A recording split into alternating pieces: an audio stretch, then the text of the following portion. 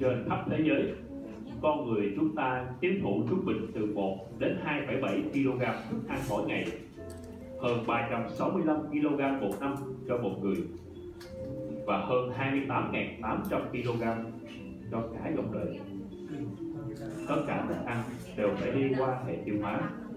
Hệ tiêu hóa gồm 10 cơ quan tổng chiều dài 9 mét chứa hơn 20 loại tế bào tiêu biệt đây là một trong những hệ thống đa dạng và phức tạp nhất trong cơ thể con người. Các bộ phận liên tục làm việc đồng loạt với nhau để hoàn thành một nhiệm vụ, chuyển đổi thực phẩm thành các chất dinh dưỡng và năng lượng giúp cơ thể tồn tại. Hệ tiêu hóa có bốn thành phần chính kéo dài khắp cơ thể. Đầu tiên là ống tiêu hóa. Đây là một cơ hình xoắn ốc vận chuyển thực phẩm có diện tích bề mặt bên trong từ 30 đến 40 mét vuông, đủ bao phủ một nửa sân cầu lông thứ hai là tuyến tụy, túi mật và lá gan.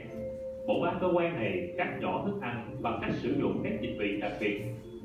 Thứ ba là các enzyme, hormone tế bào thần kinh và máu.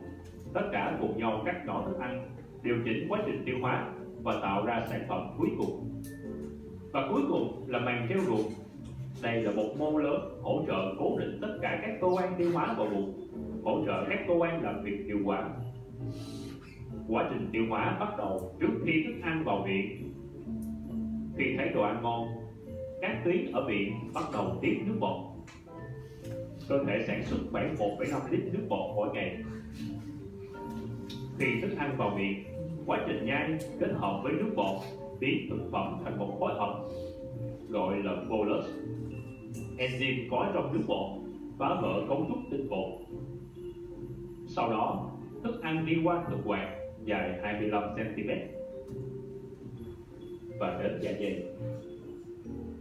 Thần kinh trong mô thực quản xung quanh cảm nhận sự hiện diện của bolus và kích hoạt nhu động ruột từ đó, một loạt các cơn co thắt đẩy ra liên tục.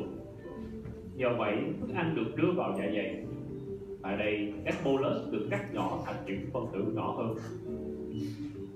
Các tế bào trong lớp lót, tiết hormone, kích mạc giải phóng axit và các loại enzyme từ thành dạ dày, bắt đầu hòa tan và cắt nhỏ thức ăn. Những hormone này cũng thông báo đến tuyến tụy, lá gan và túi mật sản xuất dịch vị và tiết mật để chuẩn bị cho giai đoạn tiếp theo. Mật là chất lỏng màu vàng tanh tiêu hóa chất béo sau 3 giờ trong dạ dày, các khối bolus bây giờ là một chất lỏng sủi bọt, còn gọi là dịch sữa hay nhũ chất chất lỏng này chuẩn bị được đưa vào ruột non gan đưa mật đến túi mật. Túi mật tiếp mật vào phần đầu của ruột non, gọi là tái tràng ở đây, mật hòa tan lượng chất béo nổi trên mặt nước. Nhờ đó dịch vị tiêu hóa chất béo, dịch vị cắt nhỏ các phân tử chất béo. Thành axit béo và glycerol để dễ dàng hấp thu vào cơ thể. Các enzyme cũng phá vỡ cấu trúc protein thành các axit amin cắt nhỏ chất bột đường thành glucose. Sự cắt nhỏ này xảy ra ở những vùng thấp hơn của ruột non là hỗn tràng và hội tràng.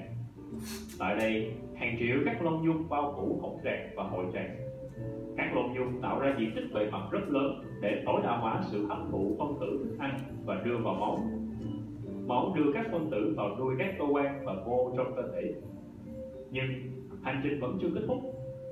Nước cùng với các phân tử còn sót lại và những tế bào chết bị bong chóc trong quá trình tiêu hóa được đẩy vào ruột già, còn gọi là đại tràng. Cơ thể hấp thu phần chất lỏng còn lại qua thành ruột phần còn lại là một khối mềm gọi là phân. Đại tràng nén các sản phẩm bột này vào một túi gọi là trực tràng các tế bào thần kinh nơi đây sẽ báo cơ thể thời điểm loại bỏ đại thải khi đến lúc phù hợp, các sản phẩm phụ của quá trình tiêu hóa được thải qua hậu môn. Đây là quá trình tiêu hóa thức ăn thường kéo dài từ 30 đến 40 giờ.